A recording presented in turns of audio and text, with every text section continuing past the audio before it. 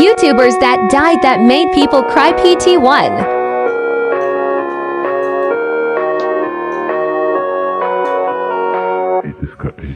He died because cancer.